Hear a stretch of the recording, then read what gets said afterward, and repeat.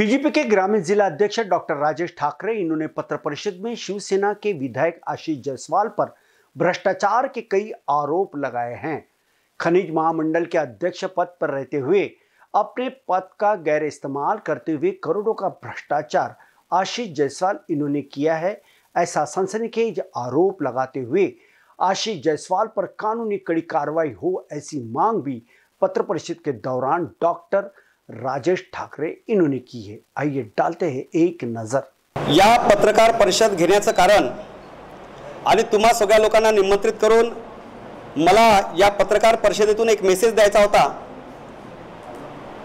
की राज्यामध्ये जो सरकारमध्ये आज फेरबदल झालेला आहे ती महाराष्ट्राची एक मोठी क्रांती आहे एक विचारधारेची क्रांती आहे आणि एक नैसर्गिक युतीमध्ये नैसर्गिक युतीच्या विचारधारेवर सरकार बनलेली आहे.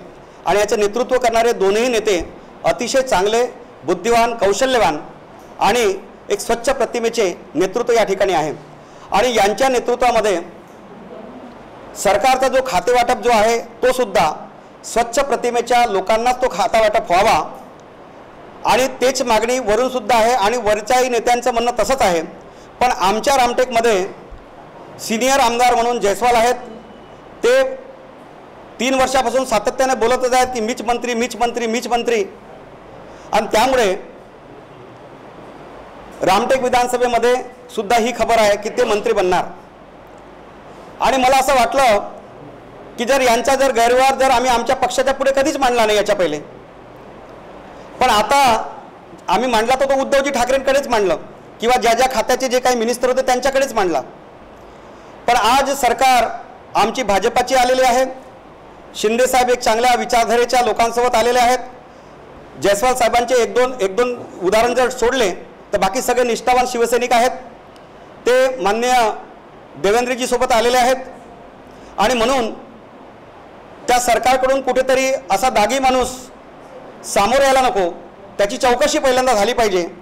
आणि चौकशीच्या अंती जर का समजा तो निर्दोष असेल तरच त्यांना दिलं पाहिजे.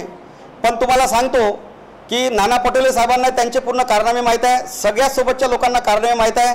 आमच्या गावागावातल्या माणसाला कारनामे माहीत आहे. मी तर म्हणेल की पत्रकार म्हणून तुम्ही तिकडे चक्कर तर मारा तुम्ही. तुम्हाला नदी किती उत्खनन झाली आहे ते तुम्हाला दिसेल. किती ब्लाइंडनेस काम चालू होतं या अडीच वर्षाच्या कालखंडामध्ये अधिकाऱ्यांच्या मध्ये आणि जयस्वालच्या मध्ये तो तुम्हाला दिसेल.